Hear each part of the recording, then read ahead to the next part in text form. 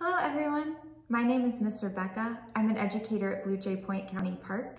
Today we are going to be reading a book related to our Songbird celebration.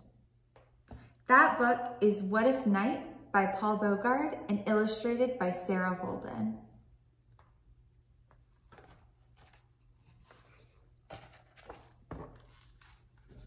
What if night never came?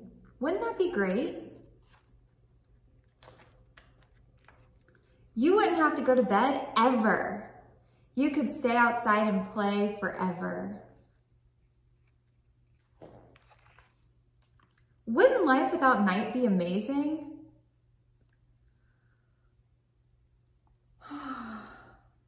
Maybe, for a little while.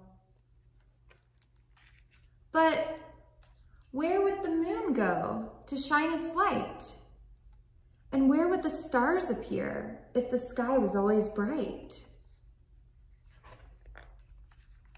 What about the birds who travel in the dark? Or the crickets with their music? Or the fireflies with their spark?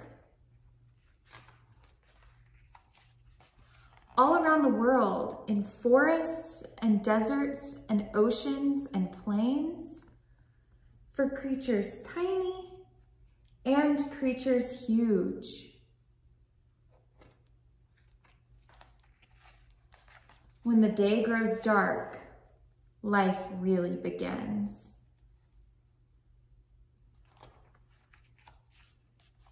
Forever and ever and all through time, night is where they travel with friends, or find their favorite food, or stop to sing to the stars. So what would all the animals who need darkness do if night never came? What about you? When you grew tired, how would you sleep? When would you dream of all the places you want to visit, of all the fun things you will do?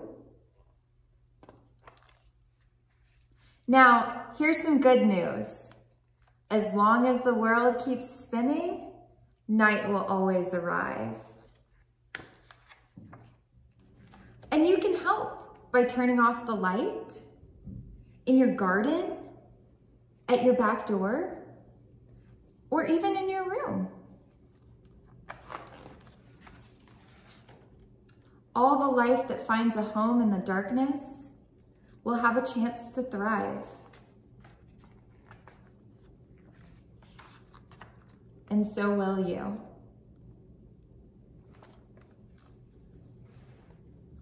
Thank you for joining me on our story time today.